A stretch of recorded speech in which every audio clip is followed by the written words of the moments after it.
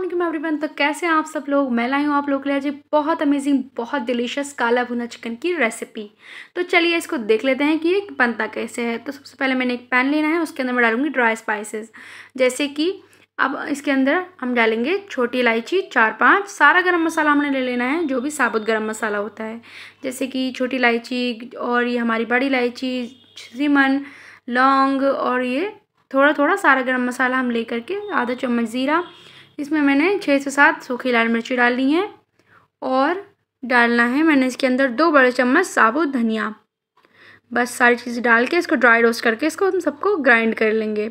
इसमें बस एक अच्छी सी खुशबू आनी चाहिए जब तक कि हम इसको ड्राई रोस्ट करेंगे। देन हम एक लेंगे कढ़ाई, उसके अंदर डालेंगे हम दो बड़े चम्मच तेल, उसके अंदर डालेंगे हम दो तेज़पात के पत्ते, एक सिनेमा का टुकड़ा, चार पाँच लौंगे और चार पाँच छोटी इलायची, सब चीज़ों को डाल के अच्छे तरीके से थोड़ा सा चटकने देंगे और देन हम इसमें डालेंगे अपनी तो हमने चार बड़ी प्याज़ों को हम मैंने यहाँ पर चॉप कर लेना है स्लाइस में और अच्छे तरीके से इसमें फ्राई करना है। प्याज को हमने गोल्डन ब्राउन फ्राई करना है। अच्छे तरीके से प्याज को गोल्डन ब्राउन कर लेंगे तो हमारी जो प्याज है वो अच्छे तरीके से गोल्डन ब्राउन अब हो चुकी है। तो अब प्याज को हम निकालेंगे नहीं, हम इसी के अंदर मैंने डेढ़ किलो चिकन लिया है और अच्छे तरीके से वॉश कर लिया है और इसके अंदर मैं डाल दूँगी। और डालने के बाद हमने चिकन को अच्छे तरीके से चलाना है। ताकि हमारा जो चिकन का कलर है, वो थोड़ा सा चेंज तो बस चिकन को अच्छे तरीके से हमने प्याज के साथ मिक्स कर लेना है और थोड़ा सा फ्राई कर लेना है।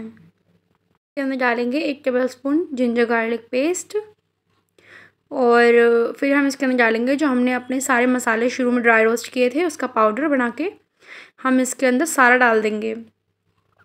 और डालने के बाद हम इसके अंदर डालेंगे सॉल्ट मैंने एक चम्मच नमक डाला है। आप अपने जायका मुताबिक कितना भी डाल सकते हैं। और अब अच्छे तरीके से चिकन में मसालों को मिक्स कर लेना है और पकाएँगे हम इसको। फिर हम इसके अंदर डालेंगे एक tablespoon red chilli powder और अच्छे तरीके से करेंगे मिक्स और फिर हम इसके अंदर डालेंगे आधी कटोरी दही। दही को मैंने अच्छे तरीके से फेंट लिया है और दही को डालने के बाद इसको अच्छे तरीके से हम मिक्स करेंगे अपने दही में, चिकन को। और फिर मैं इसके अंदर डालूँगी उसी कटोरी से जिसमें हमने दही लिया था, उसी कटोरी से हम पानी डालेंगे, आधी कटोरी। और डालने के बाद हम इसको अच्छे तरीके से जब तक पकाएँगे, जब तक हमारा जो चिकन है वो गल ना जाए।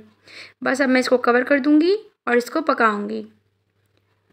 तो अब मैं पाँच मिनट बाद इसको खोल के देखती हूँ तो आप लोग देख सकते हैं, मेरा जो चिकन है वो अच्छे तरीके से टेंडर हो रहा है। तो बस अब मैं इसको खोल के ही भूनूँगी। चिकन जब तक हमारा भून, जब हमारा चिकन जब पक जाए, फिर हमने इसको खोल करके भूनना है।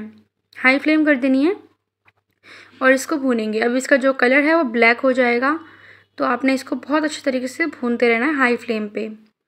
तो बस मैं इसके अंदर डालूँगी अब खूब सारा फ्रेश कोरिएंडर और इसको भूनते रहेंगे। इसका जो आपने भूनने का तरीका है, वो हाई फ्लेम पे ही भूनेंगे, जब इसका जो कलर है, वो चेंज होगा। ये बहुत अच्छा लगता है खाने में और आप इसके अंदर अदरक भी डाल सकते हैं, मिर्ची भी डाल सकते हैं। ये बहुत अच्छा लगता है खाने में, आप लोग इसको ट्राई कीजिएगा। बस मैं इसको भूनते भूनते इसका जो पानी है, वो खुश कर दूँगी और इसका जो कलर है, वो अपने आप चेंज हो जाएगा। आप लोग देख सकते हैं, इसका जो कलर है, बिल्कुल चेंज हो चुका है, बिल्कुल ब्लैक हो चुका है और इसका नाम ही काला भुना चिकन है। तो हम इसको रोटी, पराठा और नान के साथ आप इसको इंजॉय करें। तो बस ये बन के हो चुका है, बिल्कुल रेडी बस इसकी प्लेटिंग करते हैं, चलिए। तो मैंने एक बोल लेना है, उसके अंदर इसको सर्व करना है। ये बहुत अच्छा लगता है, आप लोग इसको ड्राई भी खा सकते हैं या फिर चावल के साथ भी खा सकते हैं। ये सबके साथ ही अब बहुत अच्छा लगता है।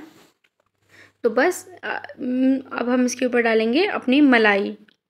मैंने इसके ऊपर मलाई डाली है, आप चाहें तो इसको ऐसे ही सर्व कर सकते हैं। और अच्छे तरीके से हम इसको गार्निश करेंगे कोरिएंडर लीव्स के साथ। और मलाई के साथ। तो आप लोगों को मेरी रेसिपी कैसी लगी?